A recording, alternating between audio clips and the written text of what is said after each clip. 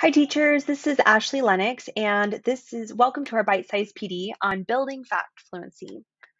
So, our learning intention today is I'm learning about math fluency and the basic fact fluency kit so that I can help students increase number sense and fact fluency with fluency instruction. And our success criteria is that hopefully you'll walk away from this 30 minutes when you know how to receive the BFF kit and have some ideas of how you can implement fluency instruction into your classroom. So here we have our multi-tiered systems of support framework. And today specifically, we are going to be focusing on the instructional hierarchy of acquisition, automaticity, and application. And you'll hear me reference this today as the AAA model. So, jumping right in here, um, this is a quote from Jo Boaler and from the Fluency Without Fear out of Stanford University. The best way to develop fluency with numbers is to develop number sense and to work with numbers in different ways, not to blindly memorize without number sense. So, hopefully, today you'll walk away with a pretty good understanding of how to develop that number sense with students to move beyond just this kind of memorization. Okay. So, our rationale, we're going to be talking specifically about a tool that you will have the option to use in your classroom called the Building Fact Fluency Kit. And here's why we chose this is that we hear you. Um, teachers are continuing to ask for support in building fact fluency for students. We know that it is a struggle when students don't know their math facts. Um, we know that it, it does make does make instruction last longer, right? And we also have some data that we need to assessments that we engage with through Acadience that do assess that math fact fluency. The good news, maybe the bad news, is that it is not just Canyon School District, it is not just Utah, it's not just third grade or fourth grade or first grade. This is something that is coming up from district leaders across the nation. Okay, so this is a genuine concern of how do we help students engage with this process. Now, what we do also know is that we have collected data over the years and sixth grade math inventory data specifically has shown that that rote memorization and programs like Reflex simply were not bridging the gap that students needed to apply the skill. So um, what that means is that we started collecting that data from students that came in using reflex in second grade collected that data through sixth grade and what we saw is that our data was not improving even though, even though students had years of access to reflex the other piece that we have used is Acadience's data. Looking at that pre-COVID computational data, we saw that it actually began to plateau. So what we know is that over time, students are not collecting um, or are, are not, sorry, are not able to show that they know these facts, okay? So what that means though, all right, so I, love this quote, and this comes from our curriculum map, but computational fluency refers to having efficient and accurate methods for computing. Students exhibit computational fluency when they demonstrate flexibility in the method they use, understand and can explain these methods, and produce accurate answers efficiently. So, the three words that are bolded in there we have efficient, accurate, and flexible. So, oftentimes when we think about fluency instruction, we think about things like time tests, which they show whether a student is accurate and but they don't always show that efficiency and flexibility okay? So we know that they can very quickly tell you what four times three is but not necessarily how they got there or some alternative ways to get there or what to do next right? So i know what four times three is. How do i apply that to four times five um, or four times four? So within our instructional guides, we do have this one pager of fluency in mathematics. So, critical actions for you as educators. The first thing that we have found throughout is that anytime this is referenced in research, number talks comes up over and over and over and over again. So, if you have not started engaging with number talks daily in your classroom, this would be a great place to start. This is going to be how you're going to build that number sense and fluency is within those number talks.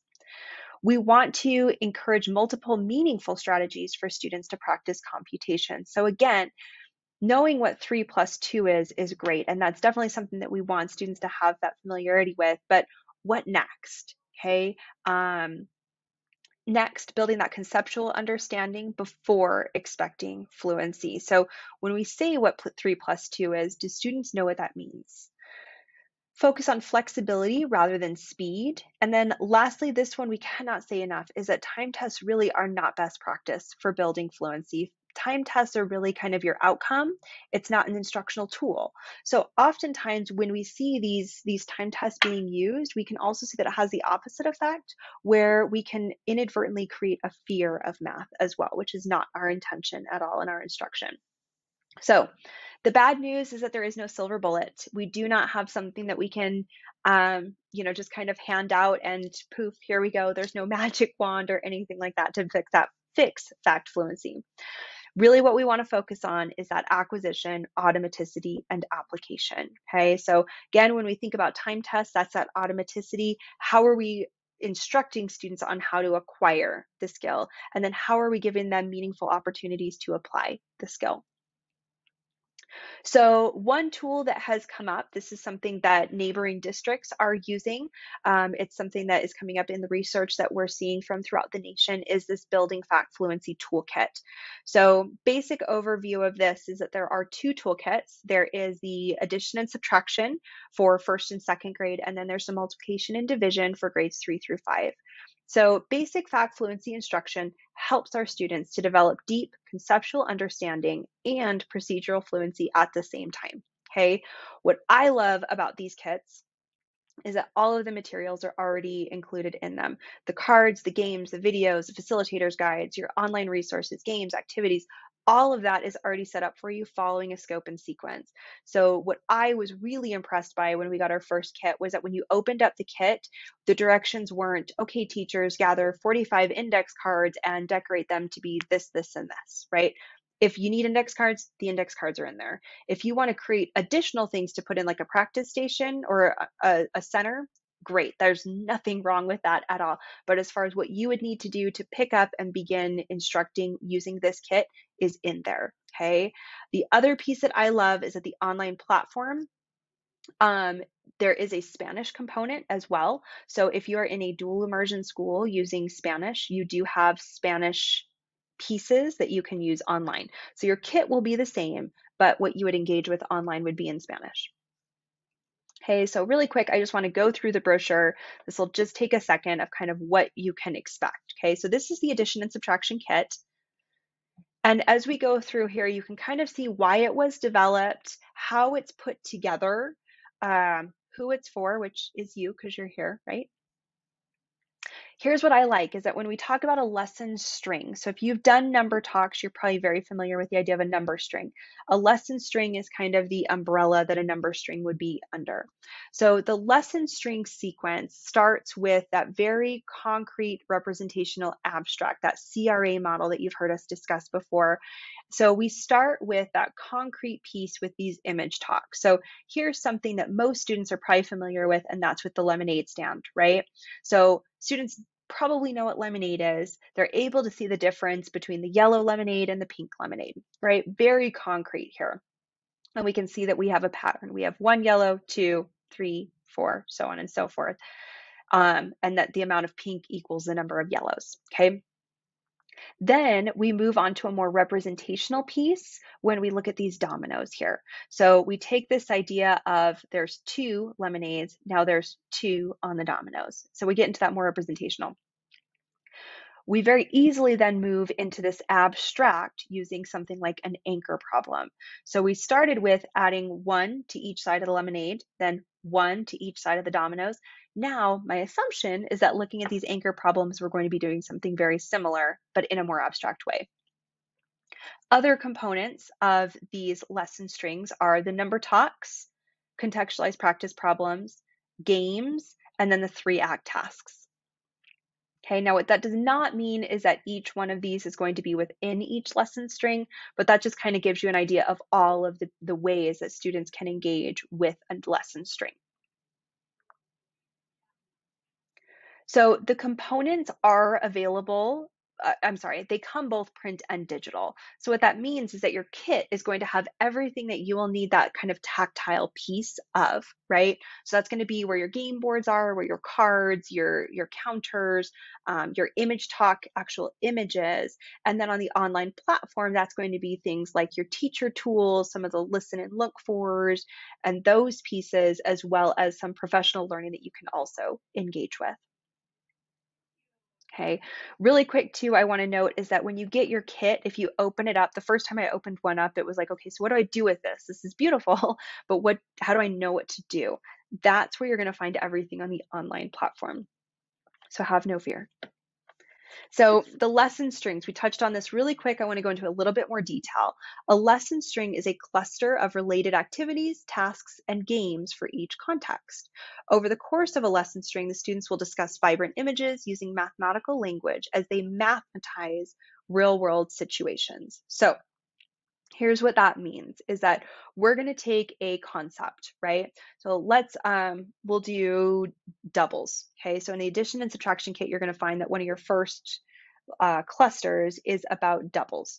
So within that doubling scope and sequence we're going to have activities tasks and games that all have to do with doubles okay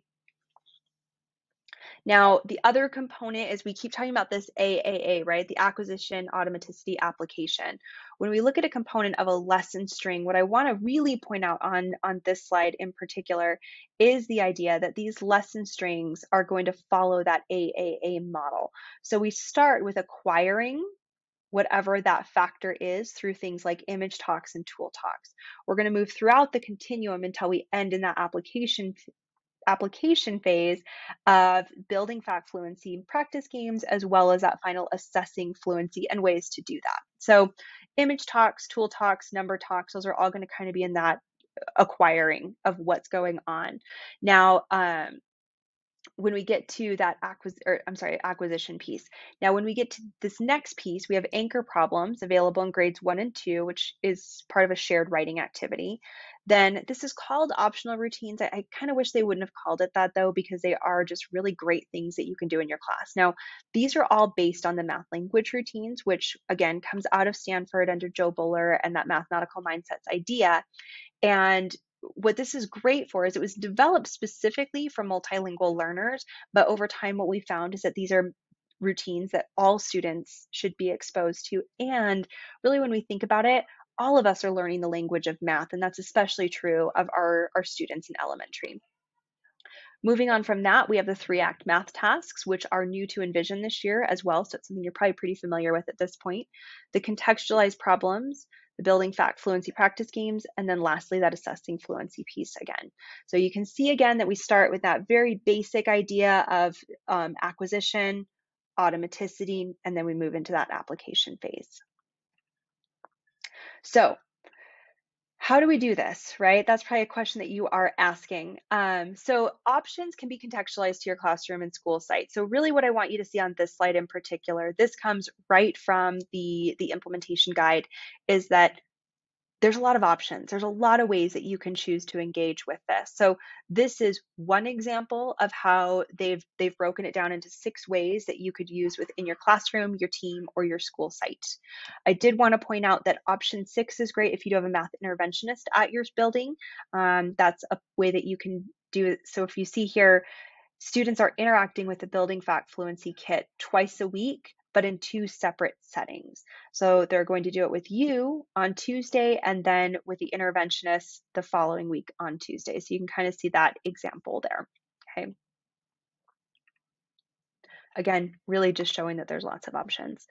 So the scope and sequence, we talked about this a little bit. Once again, what I like is that you're not left to guess when to teach what. It's broken down for you. So I'm going to start on the third through fifth grade scope and sequence that we're not going in order. We're not doing two, three, four, five, six, seven. We're going with what factors do students seem to grasp first, and then let's build on that to, to do what they can grasp next. So we're going to start with twos, right? And we're going to move the, down the continuum to tens, fives, and then we end down here in those sevens and squares and near squares. Then what happens from there is students will have three contexts in which they interact with that factor that's going to spiral throughout. So they're not going to do three weeks of twos using toy bikes, honey bears, and shoes. They're going to do one lesson string of toy bikes. Then most likely it's going to be one lesson string of bowling, then grapes, then maybe they're going to do honey bears. So we're going to go back. So there's going to be kind of this spiral that students will interact with okay? Um, when we look on the left-hand side for grades one and two, you can see that we start with that sums within five using three contexts that students are pretty familiar with. You're not going to be taking instructional time to teach students what toy cars are. Okay, it's a visual that most students are going to have a, a pretty pretty full familiarity with in order to interact with those. For grades three through five, you're probably wondering where the ones and zeros are. Those are some, those are two factors that are going to be woven throughout each factor because it's something that students can get pretty simply.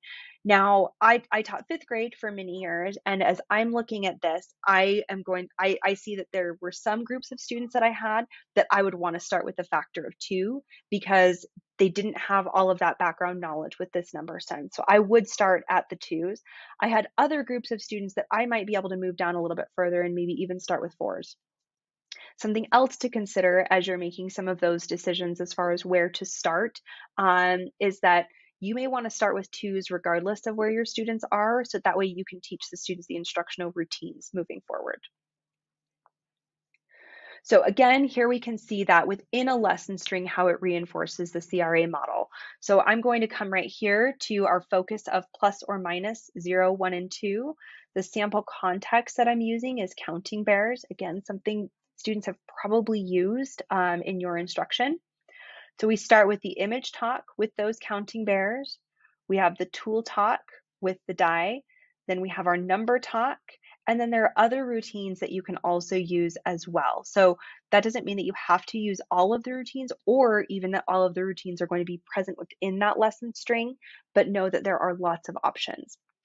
Something else that I like about this is that as much as I wanted to use a lot of those concrete pieces within my instruction, sometimes I didn't always know how. So this is a great kind of springboard for you to be able to incorporate some of those concrete pieces within your instruction. So for example, looking at this third through fifth, the paints, arrays, I have a rekenrek right here. Now, a rekenrek may be something that I'm not quite sure how to use in my instruction. This gives me a great place to kind of start. Hopefully you're asking, when the heck do I do this? Okay, we have a math block that we have packed um, with, with lots of good activities and things that students need to be successful in mathematics. So here's what this can look like. Um, within your math block, we have building number sense. This would be, in the past, we've talked about number talks, choral counting, and subitizing. Now, using the Building Fact Fluency Kit, this is where you would use your image talks, tool talks, number talks, and contextualized practice problems. Not all in the same day, right? I'm going to do one image talk on, let's say, Monday, and then I might move into a tool talk on Tuesday. Okay, so we're not doing all of these things every day. All right, that was another misconception that I had initially kind of diving into this. So we can build number sense we have this red square around here because we've heard your feedback and we, we agree that we do need to have some more time built in for that building number sense. So next year, you're going to see the instructional guide shifting to instead of five to 10 minutes, it's going to be 10 to 15 minutes. So that will also give you more time to engage with some of these components of the BFF kit. The other piece that I want to point out is this contextualized practice problems is in italics because depending on what skill you're using is going to determine where you would use those contextualized practice problems. So if I'm doing a review, building number sense is a great place to put that. Now, if I'm kind of building on with what my lesson is for that day, then that's where we'd want to put it in that concept development. Okay, so this is not 30 to 45 minute block of time.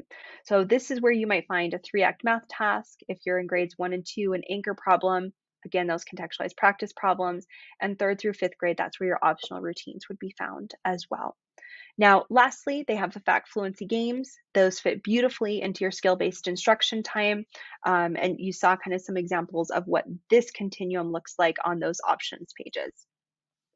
So, here's the the meat of it okay um, we as a team have allotted funding for every first through fifth grade teacher to receive access to a kit now the kit itself does belong to csd it's going to be checked out to you just like your your, your reading street textbooks or your wonders textbooks have been checked out to you so we have created a canvas course to support you in that effective implementation there are opportunities within that to self-select modules and you can receive up or I'm sorry, you can receive $55 per completed module and there are 3 modules that you can complete for the stipends. I cannot say this enough. You all have worked so incredibly hard over the last few years. We we admire the work that you're doing with students. We know that you're doing your best and it's the ins, the outs, all of the these things that are going on. This is not required. Okay? So if this is something that you want to engage in, we'd love to help you through it. If you don't feel like you're there yet, we totally understand that as well. Okay, so the Building Fact Fluency Canvas course does have the introductory modules. So those first four up here under this idea of introduction, this is where you're going to go through a lot of, it's going to solidify kind of what we've overviewed just now. At the end of that, where it says how to receive your BFF kit, that's where you will determine whether or not the training is something that you want to do. Okay, so you'll go through that, you'll answer a couple of simple questions, and then we will get a kit out to you within a couple of weeks. Um, once you have gotten your kit, then you can move on to your next introductory module, and that's getting to know your BFF. So there are four um, pages within that for you to review. A couple of those do have some longer videos incorporated in them. So just kind of make sure that you're setting aside that time if that's something that you want to do. Okay. Now, once you have said, yes, I want a kit, you've gotten a kit and you have a basic overview, these are the three modules that you can then engage with. So we have the image talk, tool talk, and number talk, the three act math anchor problems, optional routines, contextualized practice problems, and lastly, fact fluency games for purposeful practice and assessing fluency. You can do all three of those. You can do one of those. You can do them in any order that you want to okay? But each one of those is a $55 stipend. So you probably received the flyer through your email just a couple of weeks ago, but if not, we will have that available to you as well, um, as well as that self-enroll link. Okay, so the expectation the kit will be sent to your school and it will be checked out to you through your librarian following the textbook protocol. Now, if you change grade levels, if you are teaching fourth grade this year, but next year you're going to be teaching second grade, you can exchange for the correct kit. Okay, so if you were using multiplication and division, now you can use that addition and subtraction. We'll just swap them out for you. Okay, we will have an inventory list for you as well as how to access the online components. So I hope this was helpful. Um, I hope that now we have kind of a better understanding of how to build number sense within our classrooms and best ways to support students. And I hope that you have a great day. Thank you so much for your time.